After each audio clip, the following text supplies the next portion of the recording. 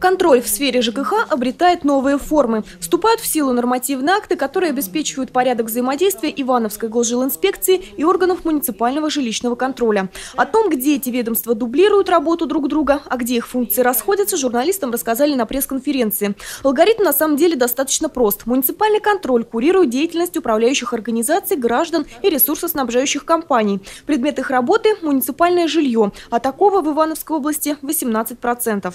В случае выявления нарушений эта структура выдает предписание. Если предписание в нужные сроки не исполняется, то о нем сообщается в госжилинспекцию. У последней рычагов воздействия больше. С их подачи можно схлопотать серьезный штраф и даже уголовное наказание. Говорим, что там вот не устанавливают приборы учета, что закон э, переносит постоянно сроки для населения. Там, значит. И, честно говоря, как-то население обвинять можно, но очень осторожно, потому что у нас еще муниципальный жилой фонд без приборов учета. А вот сегодня и это будет задача стоять по ну, соблюдению энергоэффективности тех законов, которые в этой сфере действуют, будет в том числе подлежать и контролю. То есть я думаю, что в любом случае вот количество людей, привлеченных к контролю а, в эту сферу, оно все равно даст качественные изменения.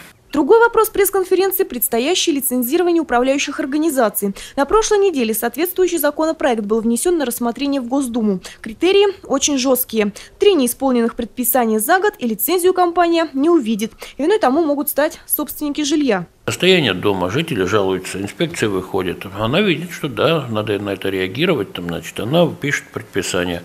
А управляющая компания говорит, замечательно, мы будем выполнять это предписание, собирает собрание жителей, говорит, будем, надо собираться ну, деньги на этот ремонт. Я говорю, не, не будем. Сами написали заявление, там, пришли, среагировали, а то, что они вообще-то должны участвовать в этом процессе, им как-то в голову не пришло. По словам вице-губернатора, если бы процедура лицензирования началась сегодня, то заветное разрешение на работу не получила бы ни одна управляющая организация Ивановской области.